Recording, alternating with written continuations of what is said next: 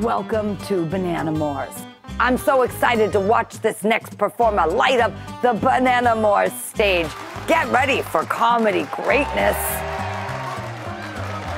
Thank you so much, Mitzy. Oh, it's such a pleasure to be here. If you guys don't know me, I'm Chanel Ali. You might recognize me from MTV's Girl Code. I was in the last season of that show, which was also the last season of that show. so you're welcome. The pleasure is all mine. I feel comfortable with you guys. I want to just be honest and let you know that I'm a biracial person. I'm biracial, which is funny to me every time I say it because uh, I feel pretty black.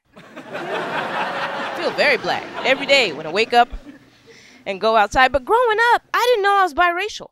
Had no idea I was biracial till I was in junior high. A girl ran up to me at school, very out of breath, like, Chanel, I saw you last night at Target with this old white lady and she was buying you a bra. What is going on? And I was like, whoa, Chelsea, that don't even sound like me, you know?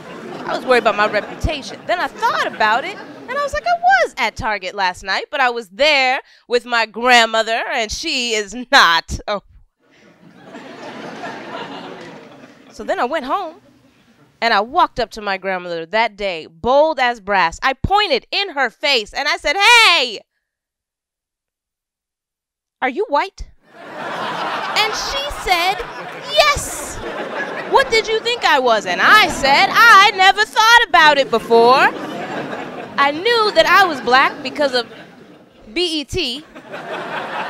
So I just assumed by association my grandmother was probably black too. Like I know she wasn't very dark skinned and she didn't really handle beach days as well as others, but we all got our stuff. Who was I to judge? She said, No, I'm 100% Italian, which means you are part Italian. She told me that her parents moved to this country from Italy. She pulled out a picture frame, showed me two very nice looking white people. I said, Oh my gosh, my whole life, I thought that was a brand new frame. And you just been waiting to fill it. Everything is a lie.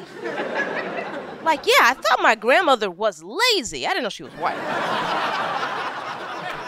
Now I'm 32. I'm 32. I know my ethnicity. But I'm still learning a lot about myself. It wasn't until this year that I was able to admit that I'm the jealous type. I'm one of those women, but not in the traditional sense, more so in the sense where I don't like it when my friends tell me about their other funny friends. I do not want to hear about that. It could be something small said to the side, like, yeah, I was at work the other day talking to Jenny. You know, Chanel, she's so funny. You would love her. I'm like, whoa, whoa, whoa, whoa, whoa. What do you mean by that? What are you, what, you, what? what are you trying to say? You, you like Jenny's jokes? Does Jenny make you laugh? It's, it's cool. It's cool. I just, you know, I remember a time when I could make you laugh just fine. I remember one time I made you laugh so hard, you cried a little. And then you peed a little. I didn't tell nobody. I'm a good friend. Does uh Jenny make you pee? No, I don't think she does. No, no, no, no, no. If Jenny's so funny, just tell me where Jenny lives. Let's go to her house right now, see if she makes me laugh. Why do you keep trying to leave? I already locked the door. Come sit down and tell me about your funny friend. you know what's sad? That's the most honest joke I have. You guys have been kind. I am Chanel Ali. Thank you so much. Please keep it going for Mitzy. That was bananas. I want more. Thanks for coming to Bananas. More.